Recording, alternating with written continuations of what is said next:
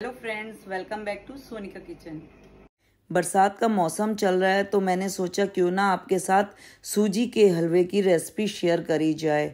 इतना डिलीशियस ये हलवा बनाता गाइस बहुत ही टेस्टी बनाता।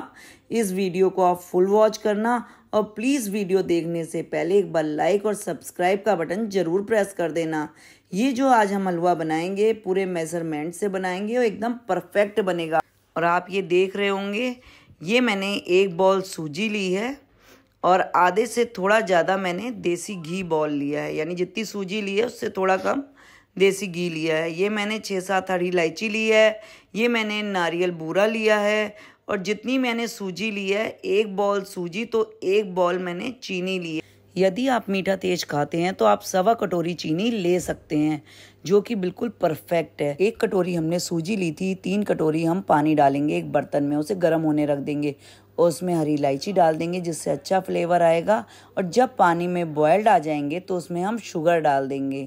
हमें जो है चाशनी नहीं बनानी है, खाली शुगर को मेल्ट होने तक पकाना है। और आप देख रहे होंगे, शुगर जो है हल्के हल्के मेल्ट हो रही है। फ्लेम को हम मीडियम टू लो ही रखेंगे।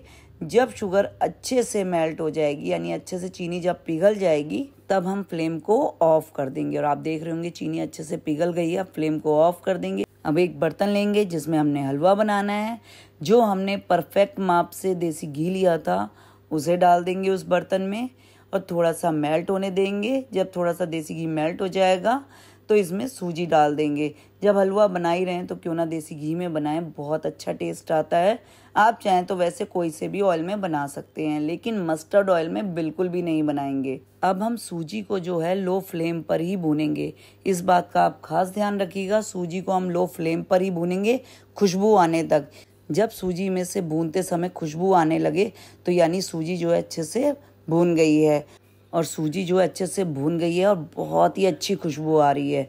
यदि आप थोड़ा डार्क कलर पसंद करते हैं हलवे में तो सूजी को और भून लेंगे। यदि आप हलवे का लाइट कलर पसंद करते हैं कि लाइट कलर का हलवा बने तो आप इसमें शुगर सिरप डाल सकते हैं। यानी जब सूजी भुन जाएगी, तभी आप इसमें शुगर सिरप डाल दीजिएगा। और सूजी जो है बिल्कुल परफेक्ट भुन गई है, बहुत ही बढ़िया खुशबू आ रही है। दोस्तों, ये आप हलवे की रेसिपी ज़रूर ट्राई करना, आपको बहुत पसंद आएगा। और आप देख रहे होंगे, सूजी का कलर जो है थोड़ा चेंज हो गया है। लेकिन आप इस बात का खास ध्यान रखिएगा फ्लेम को आप लो ही रखिएगा। शुगर सिरप जब भी आप डाल रहे हो हलवे में फ्लेम को आप ज़रूर लो ही रखिएगा और थोड़ा थोड़ा करके ही शुगर सिरप डालिएगा।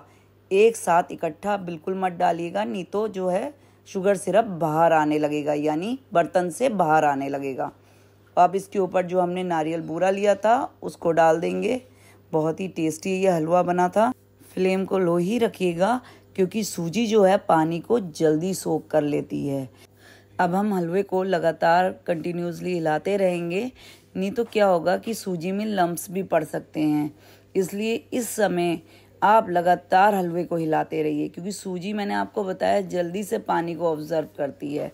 हलवा अपने ज़्यादा गाढ़ा रखना है या पतला रखना है, आप अपने अकॉर्डिंग रख सकते हैं।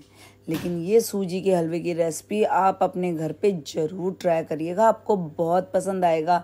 मैंने पहले भी आपसे काजू का हलवा, बादाम का हलवा, गाजर का हलवा, मूंग की दाल का हलवा, सूजी का हलवा, कड़ा प्रसाद और नवरात्रों में बनाए जाने वाला कंचकों के लिए प्रसाद, ये सब मैंने रेसिपी आपसे शेयर करी हुई हैं, आप उन्हें भी फुल वॉच कर सकते हैं। मैंने आपसे काफ़ी हलवे की रेसिपी शेयर करी हुई है और आप देख रहे होंगे कि कितना सूजी का हलवा कितना डिलीशियस बना था। गाइस, आप सच में आप वीडियो में देख रहे हैं, यदि आप इस रेसिपी को ट्राई करेंगे तो आपको ये सूजी का हलवा बहुत पसंद आएगा।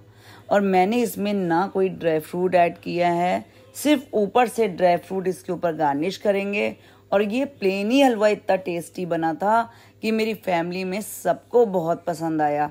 तो ये देखिए, हलवा जो एकदम परफेक्ट रेडी हो चुका है, मुझे ज़्यादा गाढ़ा हलवा नहीं करना है, क्योंकि हलवा ठंडा होने के बाद थोड़ा और भी डार्क हो जाता है।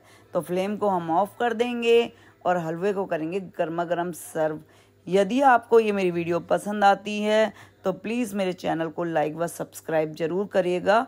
और यदि आप ऐसे डिलीशियस रेसिपी के साथ एंजॉय करना चाहते हैं तो सोनिका किचन चैनल को आप फॉलो करते रहिए और ऐसी यमी रेसिपीज़ का टेस्ट लेते रहिए। एंड टेक केयर, जय माता दी।